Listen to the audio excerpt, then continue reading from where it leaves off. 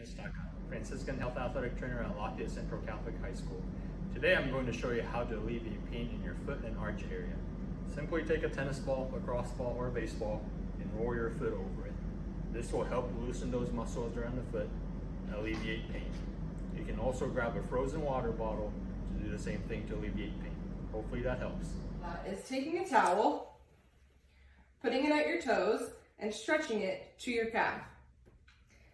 Thing you can do is take any ball, putting it on the ground, and rolling your foot over the bottom.